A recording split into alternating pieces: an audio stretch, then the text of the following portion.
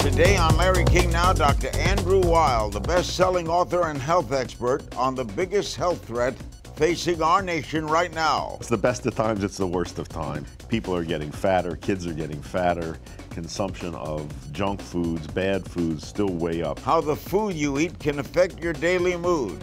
Very interesting link between food and mood. New research suggesting that depression may be another manifestation of an inflammatory condition in the body. So again, this way of eating, you know, which minimizes inflammation in the body, may help your mood as well. It's all ahead on Larry King Now.